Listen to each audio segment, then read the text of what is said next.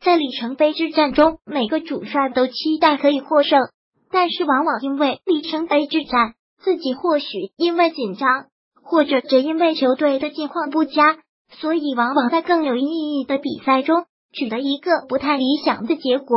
很显然，今天凌晨的勒勒夫就是这样的。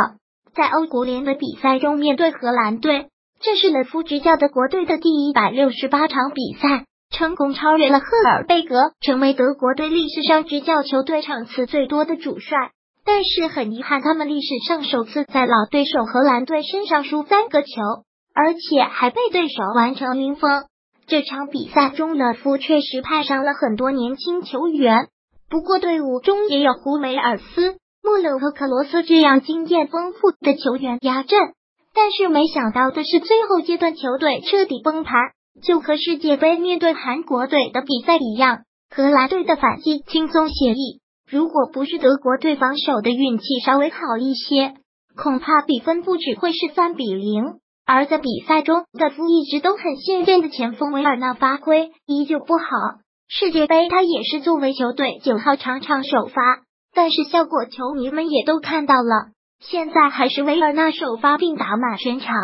结果，德国队在欧国联的小组赛中垫底，因为赛事的跨度比较大，所以一旦降级，那么想要升级回来的用时会比较长。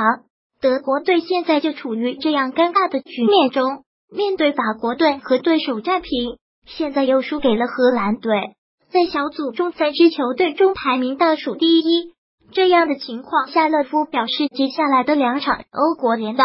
比赛一定要确保可以在世界杯冠军法国队身上至少拿到一分，同时还得在主场击败荷兰队，才可以确保不降级。